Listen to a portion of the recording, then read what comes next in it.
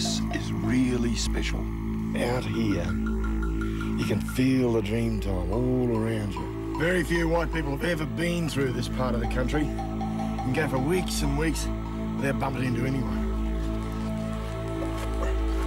It's about as far away from civilization as you can get. Talking of civilization, some geo mates of mine, are rock doctors I call them, but they're dropping in some supplies for a project we're working on.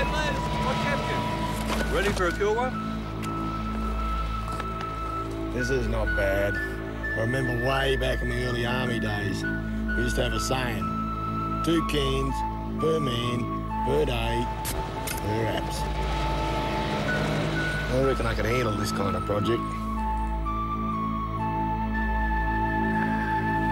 Doesn't get any better than this.